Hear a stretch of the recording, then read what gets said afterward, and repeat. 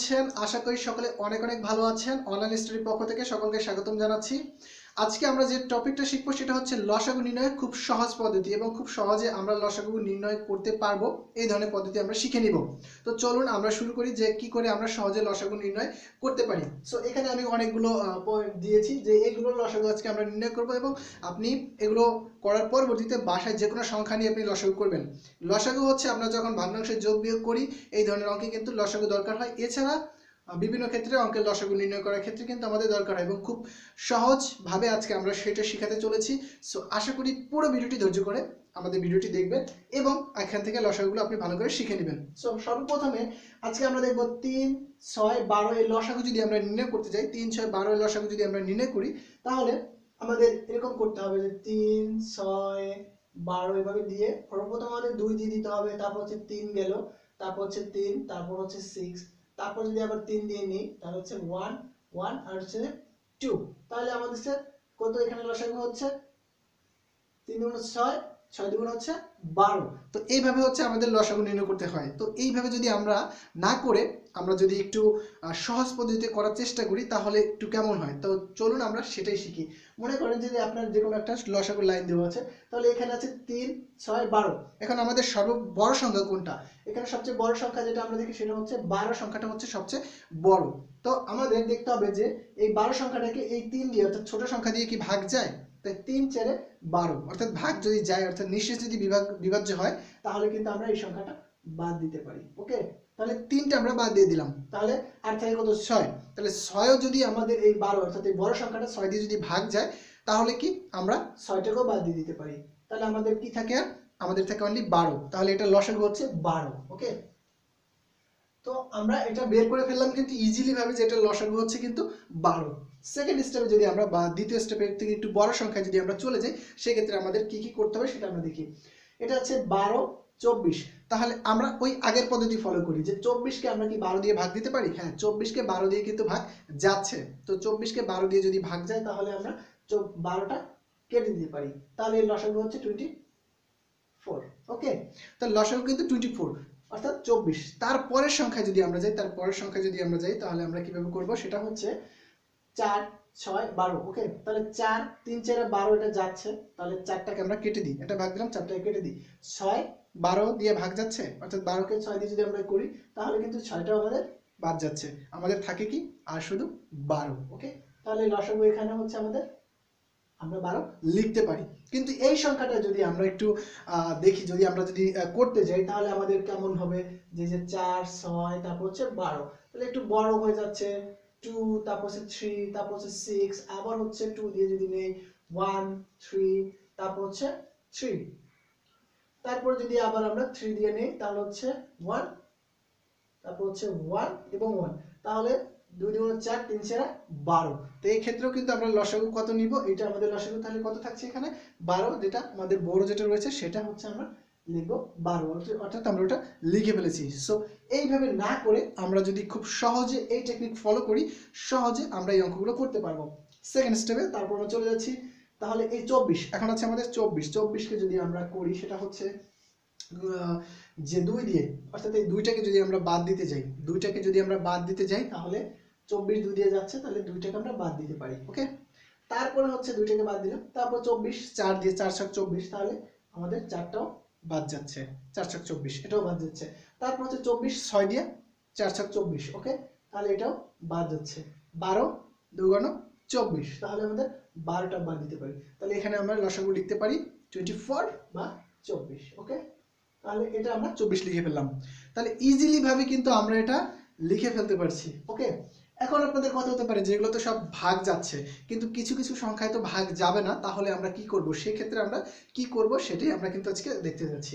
ওকে এইটা কিন্তু খুব ইজি টেকনিক আমরা শিখে ফেলছি, তারপর আমি টেকনিকটা আবার বলছি, অর্থাৎ আপনি বড় সংখ্যাটাকে ছোট সংখ্যা দিয়ে ভাগ দিবেন, ভাগ দেওয়ার পরে যদি বিভাজ্য যায়, তাহলে সেই সংখ্যাটা আমরা বাদ দিব, অর্থাৎ সবচেয়ে বড় যে সংখ্যাটা থাকবে, সেই সংখ্যাটাকে আমরা লসাগু হিসেবে নিতে পারব।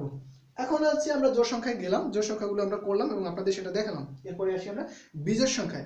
বীজের সংখ্যায় এখন তিন এবং পাঁচ। তাহলে তিন দিয়ে পাঁচকে আমাদের কিন্তু এখানে ভাগ যাচ্ছে না।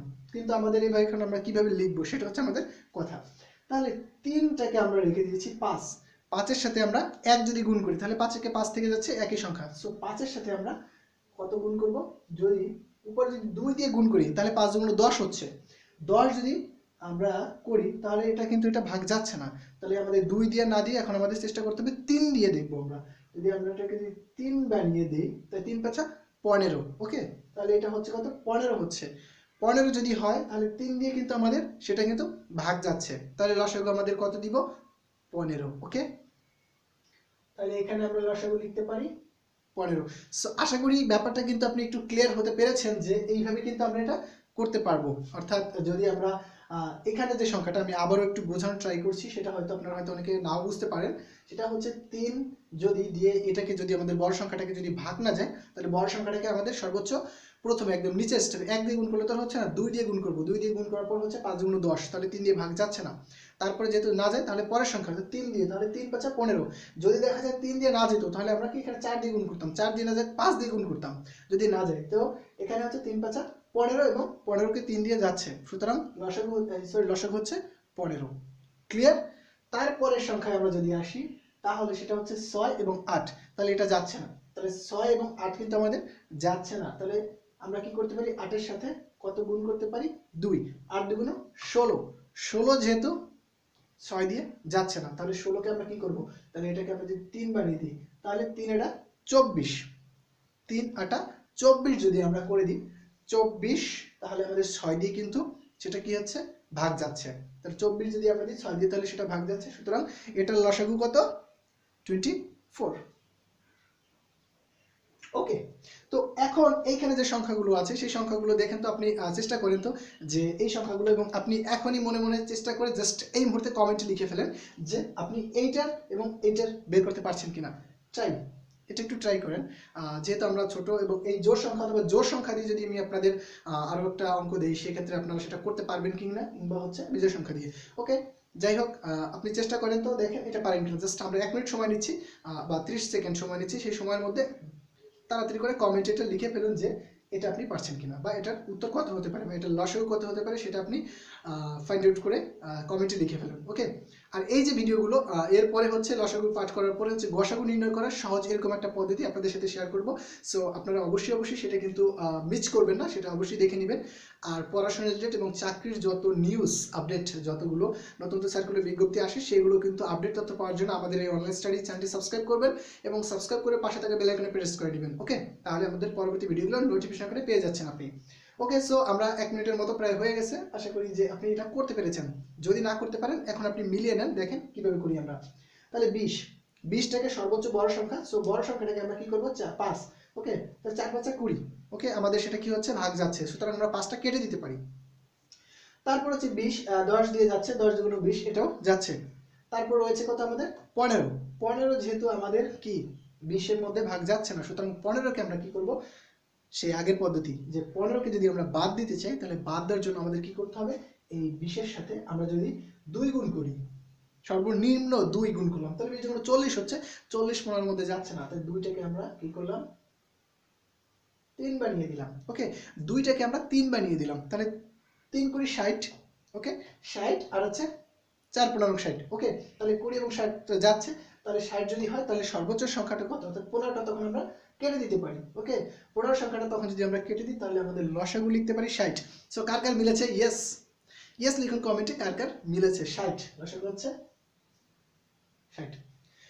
সো দেখতে পাচ্ছেন যে আমরা লসাগু কিন্তু ষাট লিখে ফেলেছি ওকে তারপর হচ্ছে পরেরটা ট্রাই করে দেখতে পারেন, পরেরটা। পরেরটা। তাহলে আমরা পরেরটা কীভাবে কীভাবে করতে পারি?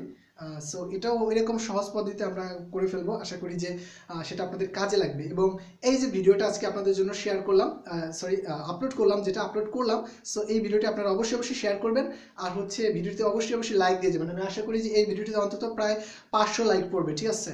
আই হোপ যে এই ভিডিওটিতে আমি মানে প্রথম আপলোড করার সাথে সাথে দেওয়ার পরে যে পাঁচশোটা লাইক পড়বে, যে পাঁচশো জন যদি দেখে অ্যাটলিস্ট আর ভিডিওটি লাইক দেওয়ার কারণ যদি আপনি আপনার ভিডিওতে এই ভিডিওতে লাইক দেন, তাহলে আপনার লাইকের লাইকের যে প্লেলিস্ট যেটা আছে, সেই প্লেলিস্টে এই ভিডিওটা পেয়ে পেয়ে যাবেন। এবং পরবর্তীতে আপনি যখন আপনার ইউটিউবে অর্থাৎ আপনার লাইকস ভিডিওগুলো আপনি যখন খুঁজবেন, তখন এই ভিডিওগুলো কিন্তু থাকবে থাকবে সেখানে। সো অবশ্যই লাইক দেওয়ার গুরুত্ব রয়েছে অনেক। সো এই অঙ্কগুলো যখন আমরা যদি লসও করতে যাই, তাহলে আমাদের কত এরকম একটু সময় লাগে? টু থ্রি তারপর হচ্ছে ফোর ফাইভ তারপর হচ্ছে ফিফটিন তারপর হচ্ছে টোয়েন্টি সো এইভাবে যদি আমরা করতে যাই, আমাদের অনেকগুলো সময় লাগবে। এরকম যদি করতে যাই, তাহলে আমাদের অনেক সময় লাগে। যেমন আমরা যদি দুই দিয়ে নিই তাহলে এক, তিন, দুই, তারপর হচ্ছে পাঁচ, তারপর হচ্ছে পনেরো যাচ্ছে না, তারপর হচ্ছে দশ। তারপর যদি আমরা আবার যদি কত নিয়ে নিতে পারি? তারপরে হচ্ছে আমরা দুই দিয়ে না নিই, তারপর হচ্ছে আমরা তিন দিয়ে নিতে পারি। ওকে তাহলে তিন দিয়ে যদি নিই, তাহলে ওয়ান ওয়ান টু ফাইভ তারপর হচ্ছে তিন পাঁচে পনেরো তারপর হচ্ছে দুটো যাচ্ছে, তারপর আবার লিখলাম টেন তারপরে যদি আবার দুই দিয়ে নিই, তাহলে এইভাবে অভাবে করতে করতে আমাদের বহুত সময় লেগে যাবে। সো এই সময়টা না করে আমরা সেই সহজ টেকনিক অবলম্বন করব, সেটা হচ্ছে সর্বপ্রথম বিশ।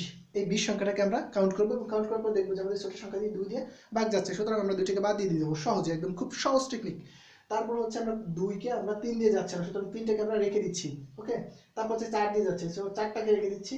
তারপর হচ্ছে চার পাঁচ, চার, পাঁচে কুড়ি, এটাও এটাও যাচ্ছে ওকে তারপরে যদি আমরা করি, সেটা হচ্ছে যে, এই যে তিন এবং পনেরো, এটার মধ্যে কিন্তু এই পনেরোটা যদি আমরা রাখতে চাই, পনেরোটা যদি রাখি, তাহলে তিনটার মধ্যে যাচ্ছে, কারণ এই তিনটে পনেরোর মধ্যে ভাগ যাচ্ছে ওকে পনেরোর মধ্যে ভাগ যাচ্ছে, এখন আমাদের থাকে অনলি হচ্ছে পনেরো। এই পনেরো এবং বিশ, তাহলে আমরা বিশের সাথে কত গুণ করলে পর, কত গুণ করলে আমরা পনেরো দিয়ে সেটাকে ভাগ করতে পারব? সো বিশের সাথে কত গুণ করতে পারি আমরা?